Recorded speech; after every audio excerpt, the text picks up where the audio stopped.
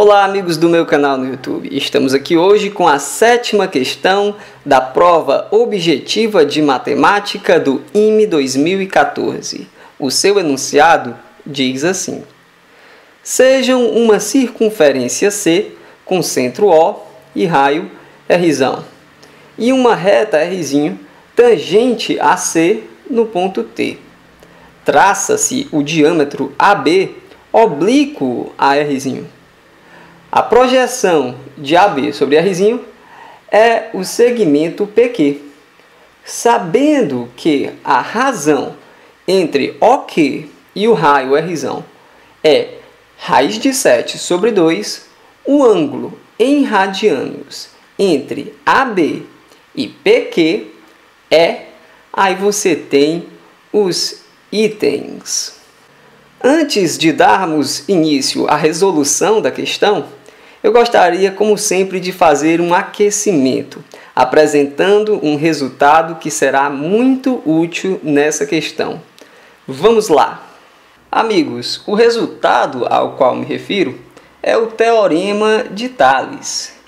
Ele estabelece que quando você tem um feixe de retas paralelas cortadas por transversais, os segmentos correspondentes em uma e na outra reta transversal são proporcionais. A gente pode escrever uma proporção utilizando esses segmentos. Como assim? O segmento AB possui correspondente à linha B'. Então, quando você monta a razão AB sobre a linha B', isso é uma constante.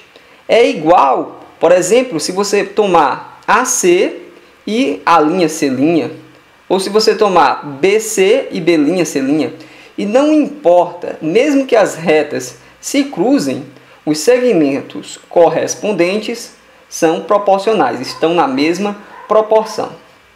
Uma aplicação interessante disso nos permite calcular um dos ângulos de um triângulo retângulo que foi aqui fatiado por um feixe de retas paralelas. Como fazer isso, professor? Muito simples. Sendo esse ângulo aqui um ângulo agudo, se nós soubermos o seu cosseno, nós também saberemos o que? O seu valor. Mas se a gente souber o cosseno de um ângulo agudo, a gente sabe que ângulo é esse. Beleza, e daí? E daí que no triângulo ABC, o cosseno do nosso ângulo alfa é o cateto adjacente, que é AB, sobre a hipotenusa AC, está aqui. Porém, esses segmentos AB e AC são correspondentes no feixe de paralelas. Outros segmentos correspondentes são RS e TU.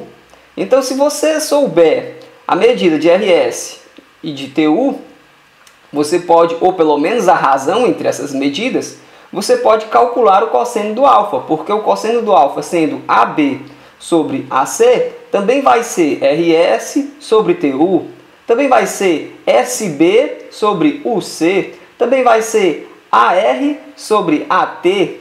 Então, não é obrigatório que você trabalhe diretamente com o triângulo se você souber segmentos, se você souber a medida de segmentos correspondentes de um lado e do outro, ou pelo menos a razão entre esses segmentos, você já vai saber o cosseno do nosso ângulo. É claro que nós temos aqui um triângulo retângulo, certo?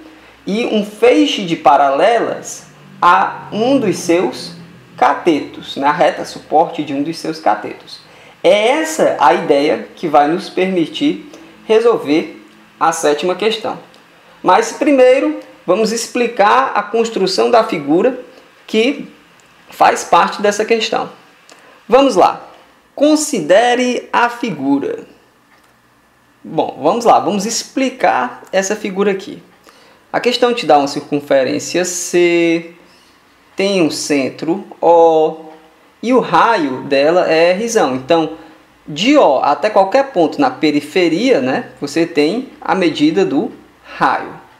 Te dá uma reta R, que é tangente à circunferência num ponto T. Então, se é tangente, quando você liga aqui do centro até o ponto de tangência, você tem um ângulo de 90 graus e, é claro, também o raio. Bom, traça-se o diâmetro AB oblíquo a R. R, que ele fala aqui, é essa reta. E AB, o diâmetro oblíquo, significa que a reta suporte desse diâmetro faz com a reta R um certo ângulo. Elas não são paralelas. Então, oblíquo né, tem esse sentido aqui. A projeção de AB sobre R é o segmento PQ.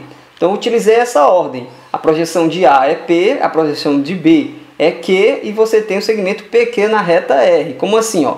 Você joga o A para a reta R formando um ângulo de 90 graus e encontra P. Você joga o B para a reta R formando um ângulo de 90 graus e encontra o pontinho Q. Então, PQ é a projeção do segmento AB. Beleza. Sabendo que a razão, ou seja, a divisão entre OK, que é esse segmento aqui, ó, do centro até o pontinho Q, né, que é, que é a projeção do ponto B, sabendo que OK e o raio, né, a razão entre esses dois é raiz de 7 sobre 2, aí ele pede o ângulo entre AB e PQ. Se você desenhar só AB e só PQ fica meio estranho, mas o ângulo é quando você completa, né, e você observa que as retas suportes formam um ângulo, que eu chamei aqui de alfa. No caso, ele quer saber a medida de alfa em radianos.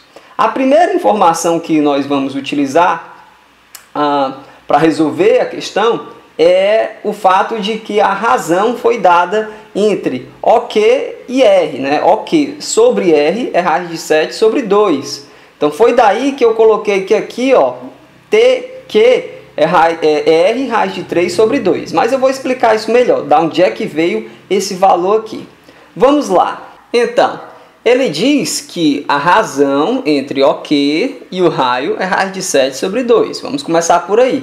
Isso significa que quando eu divido OK pelo raio, né, a medida de OK pelo raio, é a mesma coisa de eu ter raiz de 7 sobre 2. Então, passando esse R aqui multiplicando para lá, eu isolo, eu coloco OK, né, que é esse segmento aqui, em função do raio. Então, a medida dele é igual ao raio vezes raiz de 7 sobre 2. Então, isso aqui é baseado nessa informação que ele deu. E por que, que isso é bom? Porque OK é a hipotenusa desse triângulo retângulo aqui. Ó. Um dos catetos já nasce sendo o que? O raio, né? O até o ponto de tangência, isso aqui é o raio. Então, se aqui é o raio, e eu já coloquei que a medida de OK em função do raio, ou seja, R raio de 7 sobre 2, eu vou conseguir TQ em função do raio também. Vai dar R raio de 3 sobre 2. Quer ver? Ó? Pelo teorema de Pitágoras, no triângulo OTQ, temos o seguinte, ó, triângulo OTQ. OK ao quadrado é igual a OT ao quadrado, que no caso é igual a r, né, ao quadrado, mais QT ao quadrado, né? Até então a gente não sabia a medida de QT. É daqui que a gente vai descobrir que QT é R raiz de 3 sobre 2. Ó, então, aplicação do Teorema de Pitágoras nesse triângulo. OT é R. Então, OT ao quadrado é R ao quadrado. OK nós determinamos ser R raiz de 7 sobre 2. OK ao quadrado vai ficar 7 r ao quadrado sobre 4, né? todo mundo ao quadrado. Pronto, aí daqui a gente isola e determina o valor de QT, é r raiz de 3 sobre 2. Verifique as continhas. Bom, e daí? Daí, se você prestou atenção naquela explicação que eu fiz da aplicação do Teorema de Thales, você já sabe que o cosseno do alfa é quanto? Raiz de 3 sobre 2. Mas se isso ainda não está claro para você, vou explicar aqui novamente. Pelo Teorema de Thales, temos o seguinte. ST é o segmento ó, que corresponde a SO nessa outra reta, certo? Imagina que essas duas retas são as transversais de um sistema aqui, ó, de um feixe de retas paralelas. Tá vendo? Ó? Uma reta paralela aqui a essa, a essa e a essa. Então, ST e SO são segmentos correspondentes. E QT e BO também são segmentos correspondentes. Eu estava falando TQ, depois mudei para QT, mas se concentra aí. Quando eu falo do segmento, eu aponto para ele, né? mais ou menos assim. Então vamos lá. Esse segmento aqui ó, corresponde a esse. E a razão, a divisão deles dois, né? cancela o R com o R, é raiz de 3 sobre 2. Essa razão é a mesma razão entre ST e SO. Só que entre ST e SO é a mesma coisa da gente ter o cosseno do alfa, né? cosseno do alfa. Considera esse triângulo retângulo aqui, ó. STO, é um triângulo retângulo, tem ângulo de 90 graus aqui. Então, o cosseno do alfa, cateto adjacente, que é ST, sobre a hipotenusa, que é SO. Então, a gente aprendeu aqui que é raiz de 3 sobre 2. Conclusão, o alfa é igual a π sobre 6, porque o ângulo agudo, que tem cosseno igual a raiz de 3 sobre 2, é 30 graus. 30 graus em radianos é π sobre 6. E é por isso que a gente marca o item B e fica feliz com mais uma questão do IME resolvida aqui nesse canal. É claro, eu apresento aqui uma resolução. Existem outras formas de chegar nesse resultado. Se você tiver dúvidas a respeito dessa resolução que eu apresentei aqui, você pode utilizar a seção dos comentários. De qualquer forma, obrigado pela sua atenção. Se você gostou, clique em gostei. Um abraço e até a próxima. Tchau!